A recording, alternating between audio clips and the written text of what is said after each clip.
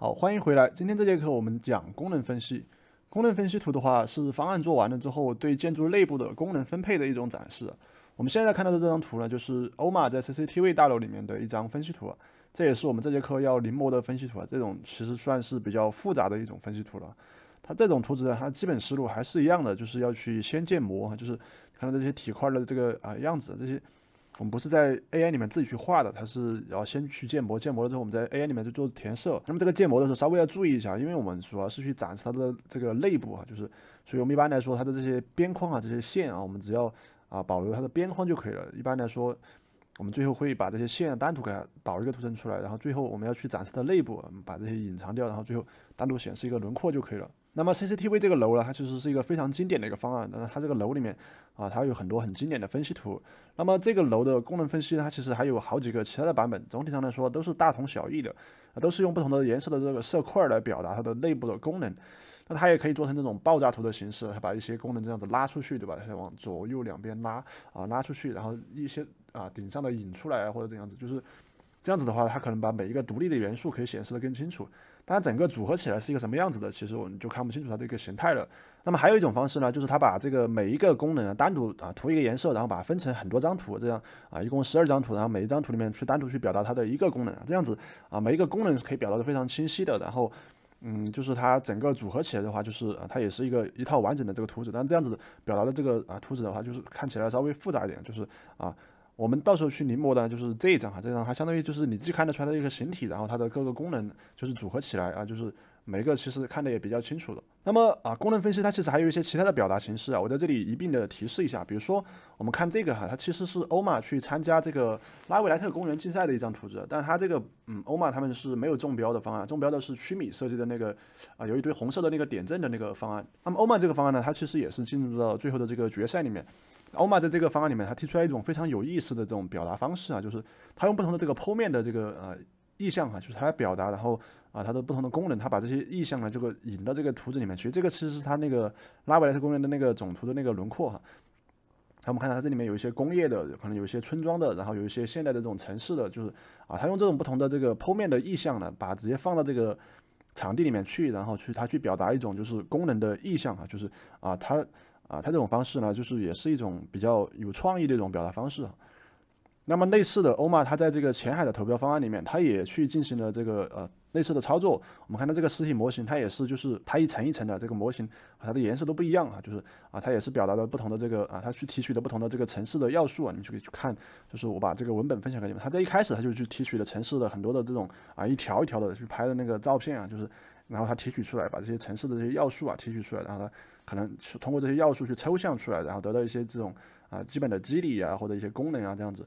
那么它最后通过一个圈啊，在这个地方这边没有结完啊，通过一个圈把这些所有的这个功能串联起来。那么啊，它这种表达方式呢，也是一种就是啊，不管是视觉上还是说它的这个啊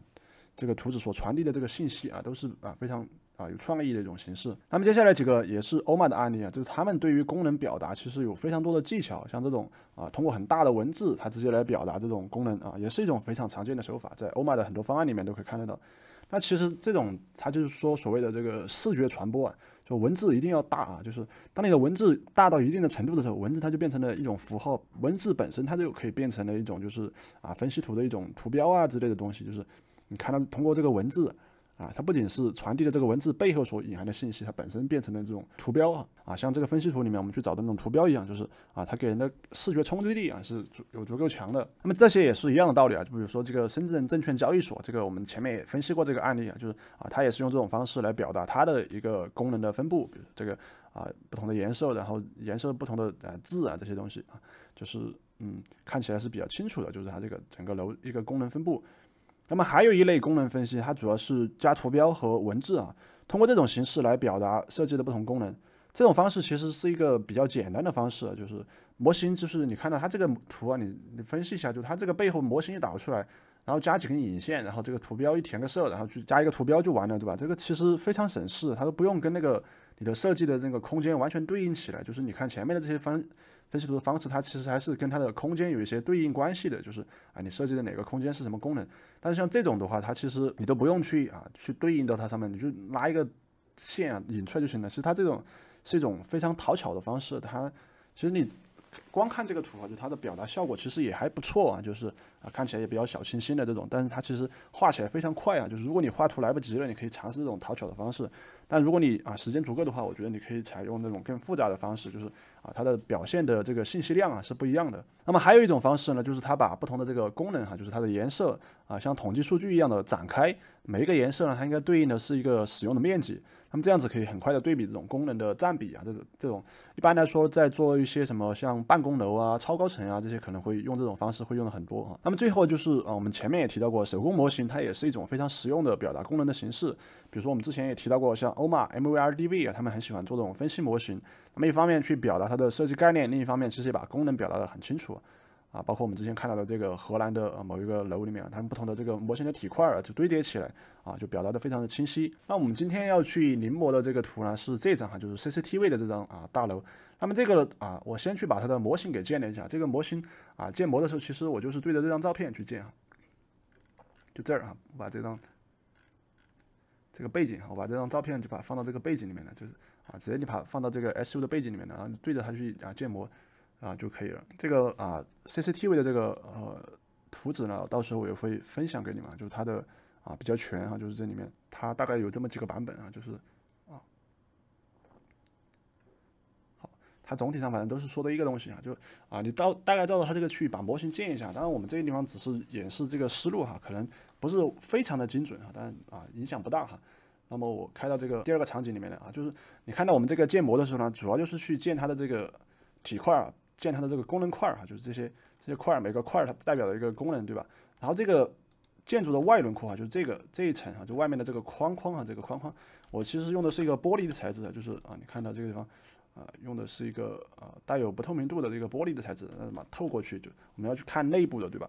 我们最后在 A I 里面呢，方便去调整它。那我们导图的时候稍微注意一下，就是我们啊导图的时候就是。啊，这个就不像我们之前那样子导图，就啊导一个 PDF 出来就可以了。这个我们要导很多个啊，就是我在这儿呢就把它稍微的啊分了一个场景哈，因为我们看到它这个呃它这个图里面啊表达东西还比较多哈，就是因为它这个图里面哈，你看到它这个呃，比如说某每一个楼层它的线它也是看得到的，背后它还有一些虚线表表达它的这个体块的这个轮廓啊，你看它背后的这个虚线，它的这个基本的体量关系。然后它里面的这些也表达的很清楚，就是啊，它的这个信息其实是比较复杂的、比较综合的。那我们导图都是这样子的，就是我在场景号二这里存了一个，这个是一个完整的，就是我们可能看得到的。那我把场景二啊，我把它拆开出来了，就是场景三这个地方呢，其实只只表达了这个它的这个外轮廓哈，就是外轮廓。这个我把单独导出去，到时候方便去做它的这些啊，就是轮廓线啊这东西，单独去导一层出来啊，把它翻开。然后在这个场景四里面呢，我去啊。这个场景三和场景四有点区别。场景三它其实是有一个颜色的，这个导出去之后，玻璃虽然我们在这个 SU 里面看到的是有透明度的，但你导的导出去之后，实际上它的玻璃是看不到透明度的。它它导出去，在 AI 里面看到的应该是这个东西，就是我把它导出来之后，我们导出来的这个啊场景号三，它是长这样子的。我打开给你们看一下，这个是场景三啊导出来的。你在那个 SU 直接导出一个 PDF，它是长这个样子的。这个。啊，它是看不到这个不透明度的，就是不透明度这个东西啊，你导 PDF 的时候导出导出去之后，它啊保存不了这个信息哈，就这个记住一下哈。所以我们在场景号四里面呢，我们导出去的是这种啊线框纯线框模式，它这个导出去之后，背后的这些线是看得到的，就是我们看得到是这个东西，内边框就是它的内部和外部的线全部都啊显示出来，就所有的线都显示出来。那到时候我们把这个外面的线，就是这一层线哈，就把它盖在上面啊。到时候后面就我们就可以显示它的虚线，到时候我们操作的时候你们就知道是什么意思了。好，然后呢啊，我再去导一个单独去把它的功能体块单独导一个出来，就是这些啊是建好的模型，就是它的功能啊这些体块单独的去导一个出来，不跟这些线混合在一起。这样子的话，我导图的时候我已经把这个提前把这些线啊把它隐藏掉了，就是啊我不要这些线。你看到这个样式里面哈，编辑里面，我们看一下，我们把所有的边线都取消了，我们只保留这个色块，因为这些线我们最后不要，对吧？我们不用这些功能块里面的线，我们我们需要的线稿其实只需要这些轮廓，对吧？这些功能啊体块的线，我们就需要就不用去导它。那么以前呢，我们是一起导出来，然后我们单独在 AI 里面去把它选出来，然后再去隐藏它啊。这样子我们如果分开导图的话，就没有必要再去做啊那么复杂的操作了。那么最后呢啊，我再去求了一个这个楼层线啊，这个这个地方稍微提示一下，就是切这个楼层线啊，就是啊楼层线就是啊，因为它这个。啊，它这个里面你看到它也是做了这个楼层线，这个楼层线呢就相当于啊你去建了一个体量起来之后呢，啊，比如说开到场景号二里面去吧，随便啊做一个啊，就是我们随便拉一个方盒子起来，好，这个楼层线啊是这样子切出来的，就是啊，比如说啊我这儿有一个方盒子，然后这个是代表这个楼层的这个基本体量，啊，我把它打个主吧，Ctrl 加 G 哈。然后我再去画一个方盒啊，画一个平面哈。你拿这个平面去切它的时候，就是这样子，就是啊，我把 Ctrl 加 G 再打个主，好，这样子我往上复制啊，复制个比如说十份哈，我除以十，好，这样子的话就是啊，你相当于这个啊，你可以把它理解为就是我们的每一个楼层它的标高，然后啊，这个就是我们楼层的这个体量对吧？就是你拿这个标高去切它，切到的每一个楼层就它就会切出来一个这个。这个线嘛，就是啊，我们这个时候把所有的一些选中，右键这儿模型交错啊，只对选择对象交错，然后这个时候你再把你把这些东西隐藏吧，你直接 Ctrl 加 H 隐藏掉哈，你就得到这个楼层的线啊，这个就是我们想要这个楼层的线。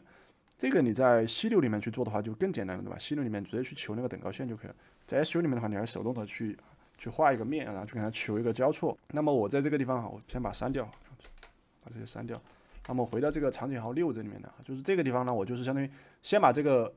体块儿，就是这个体块建好，建好了之后，你再去画一堆这个面哈，画一堆这个面平面升上去，然后去给它切割，切割出来就得到这个楼层的这个等高线啊，就是这个东西，这个也单独导一层出去啊，就导出去了之后呢，以后啊，一共呢我们是要导这个导四张图出来，一个是它的这个纯的外壳，一个是内边框，一个是功能块儿啊，一个是楼层线啊，大概就是四个。好，这四个全部导出来之后呢，我们打开 AI，我们的 AI 里面来操作，我们把这四个全部一起导进去啊，一起拖到 AI 里面来。那么拖进来了之后呢，我们可以选择其中的任何一个，就是图层，我们来啊，就是作为一个底吧哈。比如说，我们就拿这个功能块这个啊，你随便拿哪个其实都可以。好，我们把这个啊，另外几个吧复制过去，Ctrl A，然后我们 Ctrl 加 G 打个组，先把这些啊打个组哈，Ctrl C 哈，然后我们在这边呢，Ctrl Shift 加 V。原位粘贴过来，这样子它的这个啊位置是对上的，啊这个就是这个啊内边框，啊外壳啊外壳我们 Ctrl A，Ctrl G 啊先打个组，然后 Ctrl Ctrl C 啊，Ctrl Shift 加 V 好，这个是外壳，然后还有这个楼层线哈，这个一样的 Ctrl A，Ctrl G 打个组，然后 Ctrl C 好 Ctrl Shift 加 V 啊，这样子我们把这个楼层线啊也给它引过来，然后。全部弄过来之后，我们把这个图层给它分一下哈。比如这个楼层线啊，我们先把分开。有这个楼层线，好，把移进去。好，楼层线这个啊，它最后我们再来加都可以。好，我们现在啊，首先要做的是，我们把这个啊外轮廓吧，好，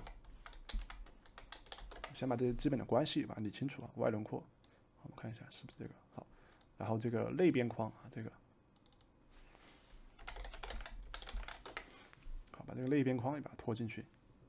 好，那么最后得到的这个呢，就是这个功能块儿，对吧？好，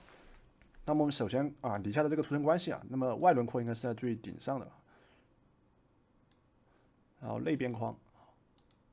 外轮廓的话，其实啊，我们也不需要这个面对吧？这个面其实是多余的啊，我们只需要它的这个线就可以了。看一下这张图啊，就是它的外轮廓，我们不需要它的这个，它最后是求了一个整个的一个。整个的一个这个啊，除了一个这个啊，就是它的整个的这个轮廓线啊，可以给它加一个粗一点的啊，也可以啊，保留一下。那么我们先把它这个处理一下吧哈，比如说啊，这个编组啊，我们先把嗯，先把其他的锁定了，按住 Alt 键点一下外轮廓前面的这个啊锁，然后把这个 Ctrl Shift 加 G 解散开。好，那么这些面哈，就是我们先把这些线全部拎出来，选择相同外观，好，把这些线全部拎出来，这个是外轮廓里面的这个线哈。后我们先给它啊，比如设定一个粗一点的粗细二，好，剩下的呢就是啊，这个我们我们再再新建一个图层出来了，这个是外轮廓啊，它得的线好，那么剩下的这个面啊，其它其实求出来的就是那个大的轮廓了，就是最外面的这一圈轮廓线啊，就是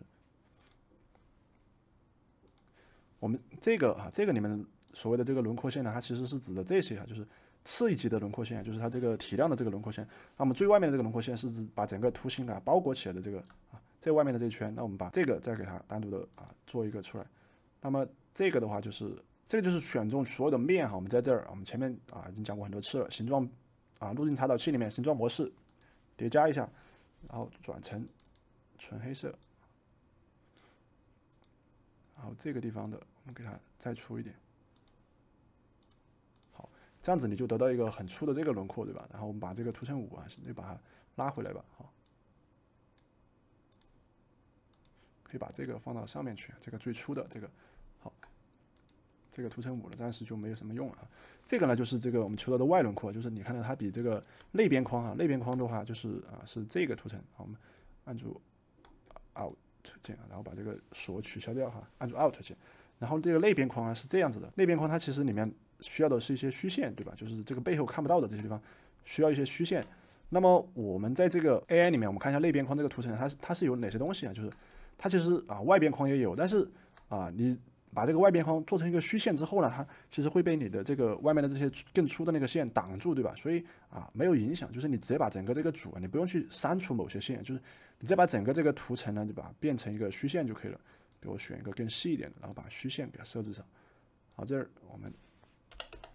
粗细虚线给它改小一点。这样子我们把变成虚线了之后，我们看一下，就是我们再把这个外轮廓打开。好，它是不是就是你看到这个地方？它这些地方呢，它这个外轮廓这个图层在上面对吧？它自动的就把它盖住了，就是你不用去不用去删除那些线，就是你把它放到下面，直接把它自动被盖住就可以了。我们把这个内边框哈，内边框把这个虚线的调的长一点吧。好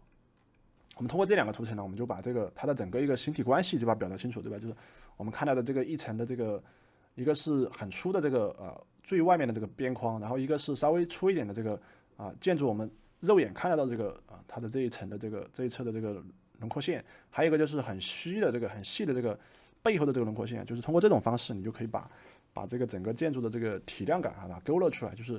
啊你们做其他的啊图纸的时候啊一样的道理啊，就是如果你要去。表达你的建筑背后的看得到的这些信息，你就导两层出来，内内部的、外部的。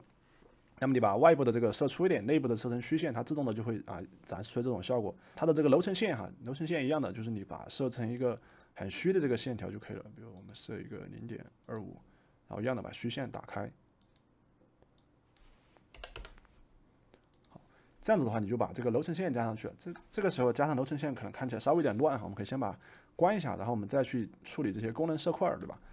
这功能色块就非常的简单了。我们把这个参考图拖进来，这个就啊非常的 easy 啊。就是你一般我们去画图的时候，我们都会去找一张参考图，你照着它去吸色就可以了，去吸它的颜色。我们把 CCTV 的那张楼啊，那那栋楼的这个图啊，我们把它拖进来，照着它的这个去吸就可以了。好这个时候呢，你就照着它这个去吸啊，比如说你的这些啊，这些色块哈，每一个色块呢，你就我们把这个参考图给它锁定一下，每一个色块你直接按快键 Y 哈，你可以双击一下它去修改它。如果你的容差不是零的话，然后你选中啊，你就把这个所有的这个同一个顶面的颜色全部选中，直接去吸它的颜色就可以按快捷键 I，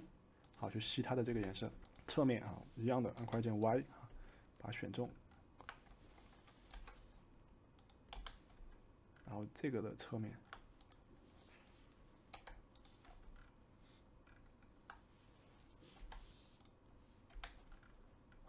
这样子你就把这个啊这个色块的这个颜色就全部给它改过来，对吧？然后其他的其实啊原理都一样的，我就不挨个去改了，就反正啊它这个基本的思路啊都是这个样子。这个里面啊稍微还有要提示一下的就是啊你如果把这些颜色全部色块的改完了之后，最后你去把那个呃你去把它这个背景的这个图啊，就是 PS，你去把这个图给它背景叠加上去，基本上就是啊就是这个意思。然后我们再去把这个楼层线打开，你看到就是我把这个关掉哈，就是。它这里面呢还有一些标注啊，就是它这个也是顺着这个透视的方向啊去加的。这个地方啊稍微提示一下，就是啊这个其实我们前面也讲过啊，就是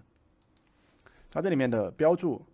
比如这个啊这个体块啊这个体块上面的这些标注，它每一个呢它都是啊顺着这个透视的，我们加一个。好，我们先把其他的全部锁定了。好，那么在这个地方上面要去写标注，我们在这个啊新建一个图层叫标注，然后这个上面。啊，我们看它写的标注的一些啥东西，反正就写了一些字吧，比如这个地方什么八百十六六啊之类的，反正就这些东西啊。这个地方你要把它变成啊，在这个面上，对吧？就是如果你直接这样子写，它这个字呢，它没有在这个面上，你要让它贴到这个面上去，你就这样子去操作一下，对吧？效果三 D 啊，突出和斜角。啊，这个时候一样的这个突出厚度啊，我们不要。这个时候呢，就是啊，就它就不是我们之前选的那种等轴上方或者等轴右方啊什么之类的，就是啊这个地方呢，你得啊你得去自定义的去旋转，就是你可以去选一个差不多的，比如这个它应该是一个什么啊，我们试一下右方啊，右方它有点接近啊，就是但它不完全是这个样子的，就是啊，就这个时候啊，我们可以看一下，就是啊，它现在是这个样子，就是如果你觉得它这个啊稍微的有点歪，比如说你看这个啊有点歪，你可以手动的直接在这个上面去拖拽哈，就是。可以直接去拖拽它，就你可以手鼠标直接放到这个上面去拖拽它，可以控制它的这个形状啊，就是可以任意的旋转变化。就你可能刚开始的时候不太习惯，就是你去多拖几次就可以看到，就是它这个是完全可以任意的拖动的。就是这个有时候你拖得太歪了，就是你不知道跑到哪去了，你可以选选一个等角啊，就把它找回来，然后你在这个基础上，然后你把鼠标放到它的某一条边上去的时候，它会锁定在这个边上去旋转啊，是这样子的。比如你锁定在这条边上去旋转啊。